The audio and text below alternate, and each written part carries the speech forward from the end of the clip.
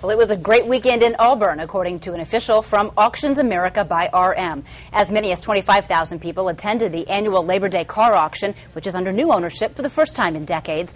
Dean Kruse sold the park last year after being sued by a number of sellers and ultimately losing his auction license. RM says over $13 million in cars were sold. In terms of sales results, it exceeded our expectations. We did um, post about $13.3 million in total sales, and uh, you know that's that's above what we forecasted. So we're very pleased with that. On Saturday, a 1934 Duesenberg sold for over $960,000. That was the top sale of the weekend.